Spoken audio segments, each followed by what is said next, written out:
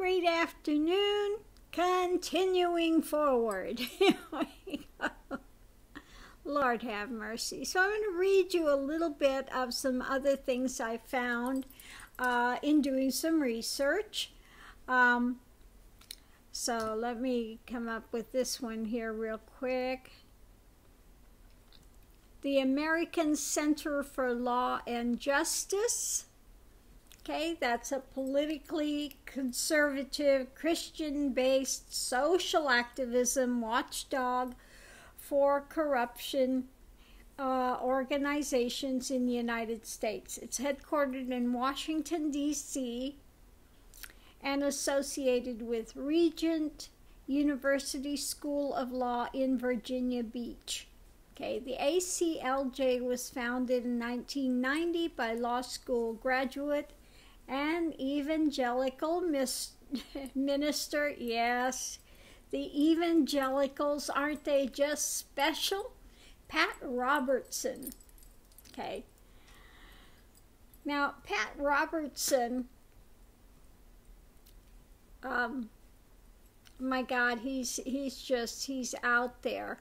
Uh, I knew somebody that was a gospel singer and she sang on the Pat Robertson show. Uh, and she said, behind the scenes, he is one of the nastiest men you'd ever meet. Just absolutely horrendous. But he sets himself up as this paragon of virtue, you know. So bad. Okay. So let's continue forward with this. And again, this is called American Center for law and justice. Sounds like a good thing, doesn't it? Yeah, well, anything but. So you may want to check some of these out. Uh, it says the ACLJ generally pursues constitutional issues and conservative Christian ideals in the courts of law. The leaders of the ACLJ also occasionally engage in public debates to present their perspective on legal and constitutional issues. Okay. ACLJ arose in part as a right leaning political answer to the American Civil Liberties Union. The name and acronym ACLJ was chosen to contrast with the ACLU you have the ACLU. Well, we're the dark side, okay? Here's the positive, the ACLU. Well, we're going to come out with the dark side of the ACLJ and promote ours as being the Christian value. Okay? Oh, my Lord. Well, it says also it's attracted much media attention for its lawsuits, such as its campaign to oppose changes to the Constitution of Kenya that, according to the group, would permit abortion and Islamic law, and its attempts to block the construction of an Islamic cultural center near the former site of the World Trade Center. The ACLJ supported blocking the construction of the center through New York City's Landmarks Preservation Commission. Though the ACLJ in the past has opposed efforts to block churches in the same way. In November 2010, the ACLJ asked that the U.S. Justice Department investigate the Congressional Muslim Staffer Association's weekly prayer session on Capitol Hill. Can you imagine? If you're Muslim, you're not allowed to, to have your prayers. Okay? Not allowed. How dare they? You know? They were alleging that the organization demonstrated a pattern of inviting Islamic extremists with ties to terrorism to participate in these events. In 2018, ACL J. Attorney, and get the name of this, Jay Sekulow, was serving on President Donald Trump's legal team. He's still on there, okay? Another Sekulow client at the time was the American Christian pastor Andrew Brunson, that's in detention and facing charges in Turkey. Okay. Says the chief counsel of the American Center for Law and Justice is J. Alan Sekulow, an attorney and a Christian adherent of Messianic Judaism. And so it says the following are some of the cases Sekulow and the center have argued before the Supreme Court. Okay, and it's got a whole list of, if you want to go through the list of the notable legal cases they have been involved in, I'm going to put the uh, URL in here so you can look that up yourselves. I'm not going to read all those cases. Um, in Europe, 1997, J. Sekulow and Thomas Patrick Monaghan chief counsel and senior counsel of the ACLJ respectively set up the European Center for Law and Justice in Strasbourg as part of the ACLJ's international strategy. Sekulow serves as, let me see, let's move this over so I can read it, as chief counsel for the ACLJ. The following year, the ACLJ set up the Slavic Center for Law and Justice in Moscow. Oh, that's interesting, isn't it? They have, oh, but we know nothing. I know nothing. Nobody that I know has anything to do with Russia. Nobody. Just my attorney, okay? has dealings in Moscow, but we know nothing about. Not us. No, nobody. No. so let me say that again.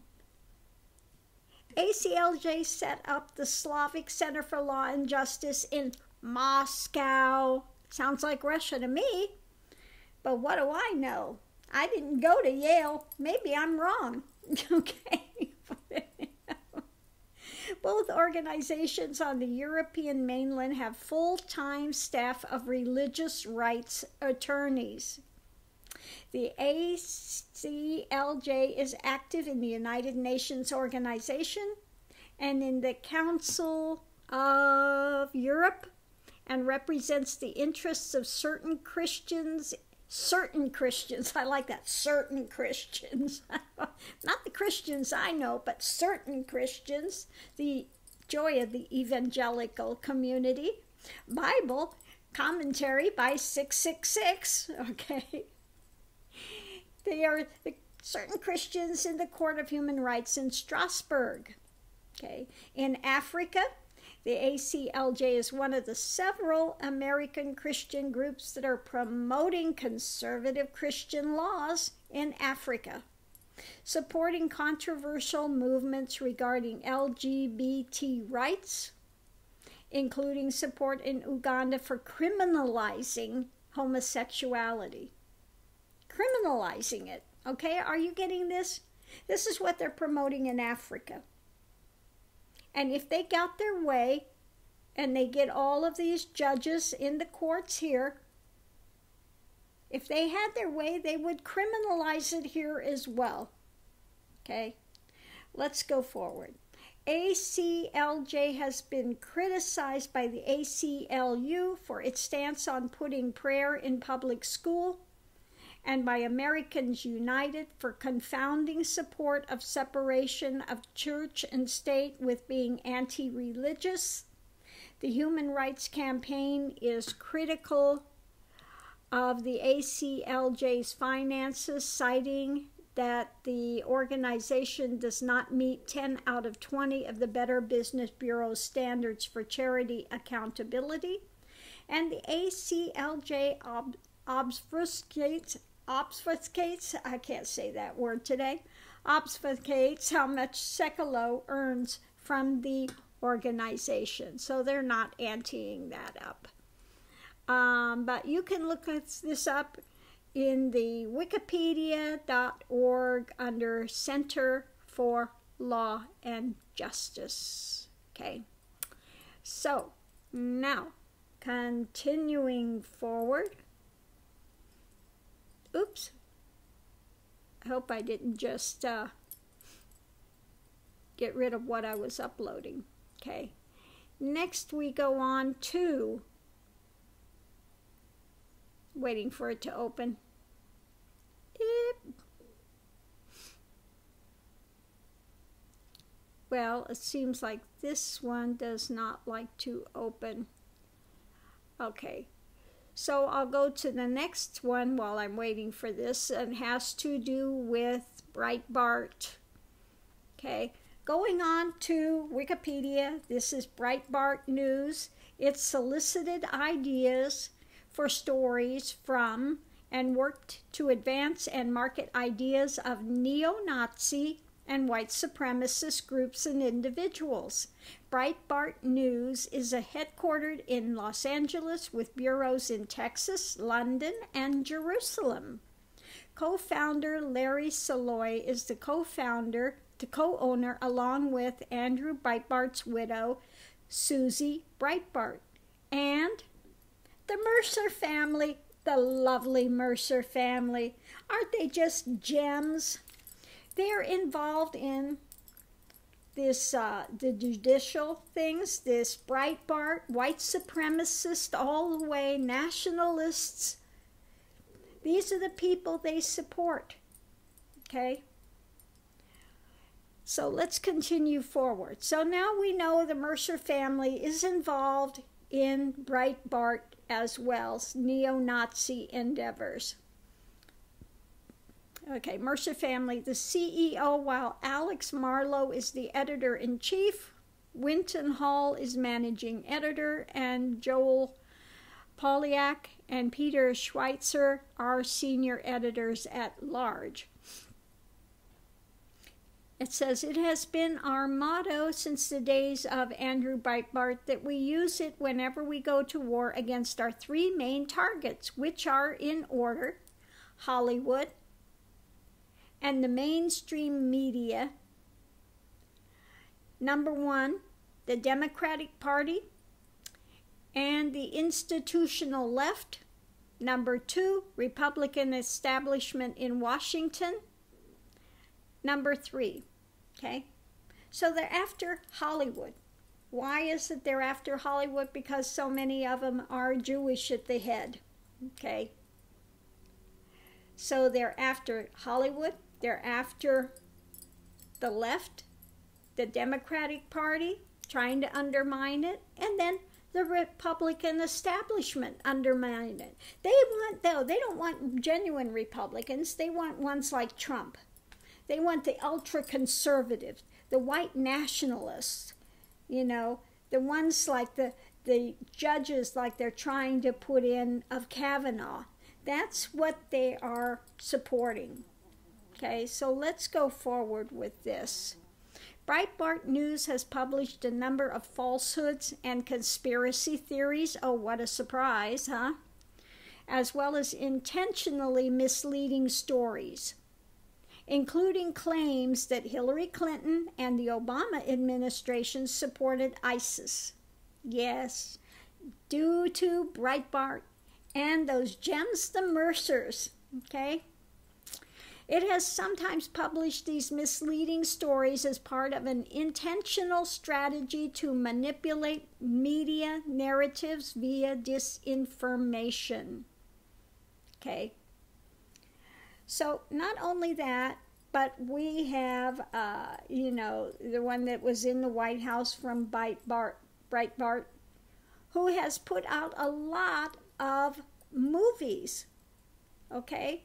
Did you know he was making a lot of movies?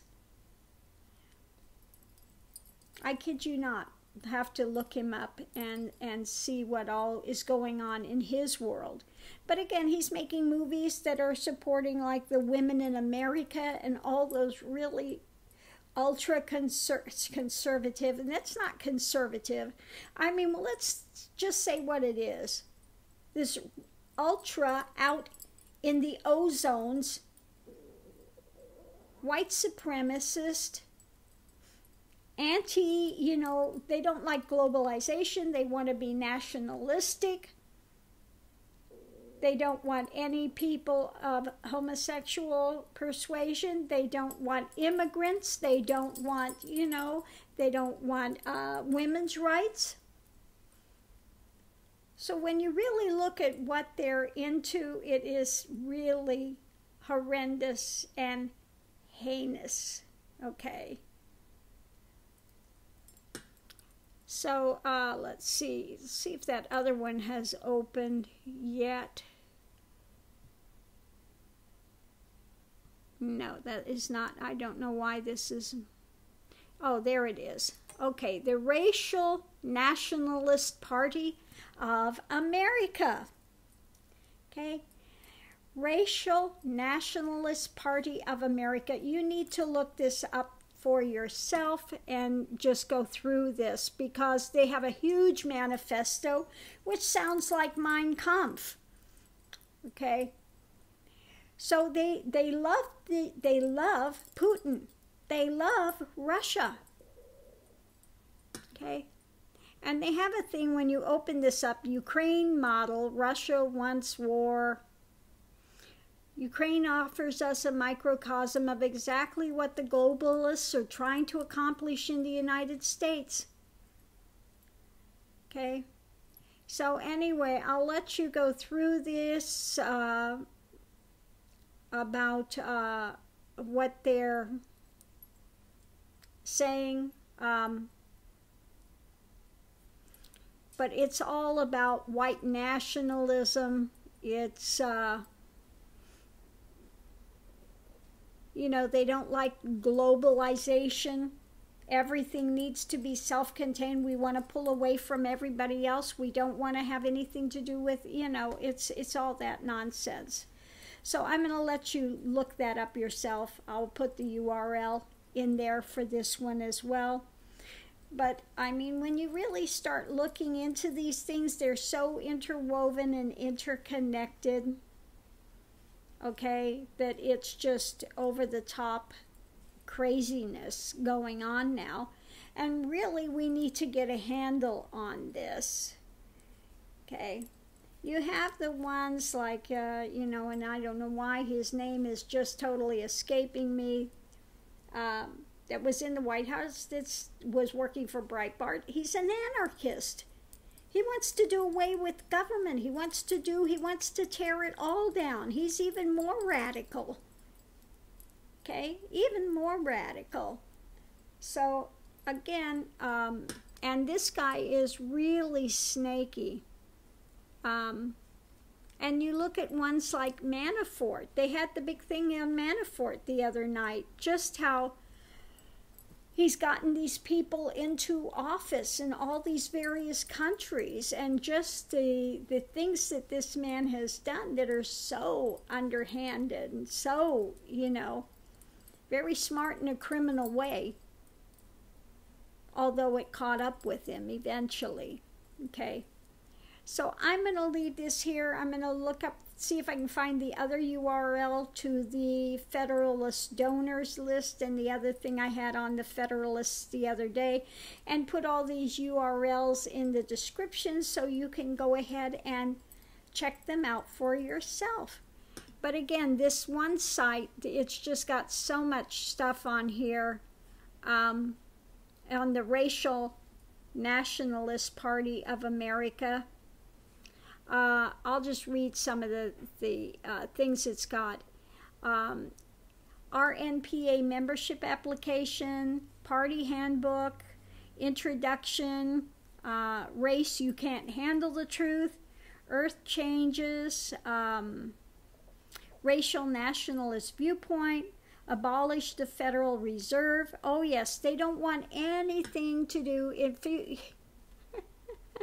they say if you are going to join our site, you have to send in dues and you cannot send a check because we have nothing to do with the Jewish money banking system.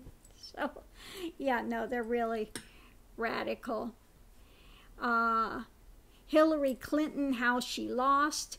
John McCain, the truth about whatever. Bill Clinton, liberal icon. I mean, you know, FBI War Against Freedom, uh, anti Martin Luther King demonstration revisited. I mean, it's just got so much crap on here. You you just and like I said, their uh, membership thing when they get into their full explanation again, it's like reading Mein Kampf. Okay, um, so I'm going to leave this here for now really we have a lot of work to do people stand up and we need to look into these ones. Like, like I said, Women for America sounds good, doesn't it? It's not. For these, all of these things that they're trying to bring in, and it's so heinous because they're bringing all these things into the Christian colleges. They're trying to infiltrate all the law systems. As you can see, they even have a thing in Moscow now but oh, we have nothing to do with Russia. And on the other hand, what's wrong with Russia? It's wonderful. They just did uh, some interviews with some of these Christian rights at the gun show. What we, we love Russia. There's nothing wrong with Russia. What are you talking about? Okay. So I mean, the ideas that they've got playing out there have really taken some hold in that uber conservative faction that's in the U.S. across the board from the nationalists, conservative Christian evangelicals, Bible by SS 666, Bible commentary. I can't believe how they've taken things out of context and spun them into something totally erroneous.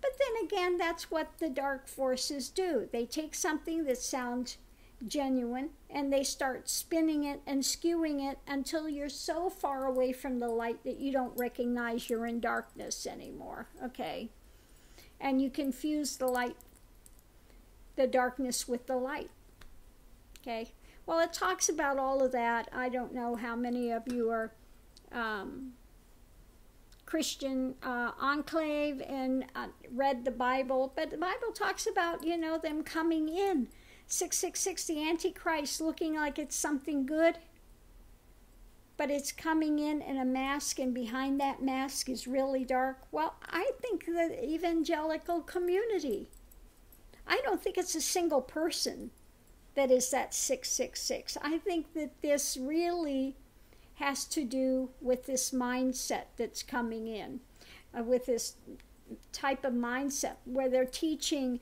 again uh, you know things like prosperity and all these things things that are not in the bible that they've taken out and skewed. And because of that they've gone into this whole ego type thing. They take little sections out and spin it into something else and again that's how the demonic works it takes something out of context starts putting in doubt it starts putting in doubt, driving fear, fear and doubt to start skewing the narrative. Okay? Rather than depending on truth and God and the, the correct way of moral integrity, transparency. It's like I said, you have to walk in, in, in integrity, transparency, sacredness, honesty. Well, they're ready to throw all of that out the door and turn a blind eye to those things if they get the things they want in. Okay? So we're, we're willing to put Satan on the throne if we can get no abortion. Okay? What's the difference? Okay? really, it's getting to that degree of just insanity. You know, uh, when all they see is money, and they're following mammon, what the God call, what the Bible calls mammon. They're following mammon, okay, to the exclusion all else. It's about money, money, money, money, prosperity. We're teaching the prosperity doctrine. Following money. What does the Bible say? It's easier for a camel to go through the eye of a needle than a rich man to get into heaven. Well, look at ones like Mercer's. Look at these types that are that are, you know, coming in and supporting these uber Christian narratives. Okay? The writing should be on the wall. Okay? And it's the worst thing is they use the Bible. they use the Bible, but really they turned it upside down. They really turned it upside down, inside out, skewed it to the nth degree to where it doesn't resemble anything that is going in the correct direction. So I'm going to leave this here for now. Thank you everyone for tuning in. I hope you're having a great afternoon. But again, don't be afraid, but we need to be vigilant. We need to stand up. We need to get the genuine Christians out there to stand up, you know, and remove themselves from these false institutions of the Bible by commentary by 666. They need to come out of that. And, you know, because again, what's it say? It says that they will have a, um, and this is like in Revelations too, that talks about they will have a persona seeming of godliness. And these good Christians love to wear their little cross and this and that and sit there, but their heart is as black as black can be. Okay? They're not coming from love. They're not coming, they're coming from judgment, from hatred, from, you know, repression. Okay? So, again, we need to be vigilant and go forward. Thank you for tuning in. Have a great day. I will see you online. Aho!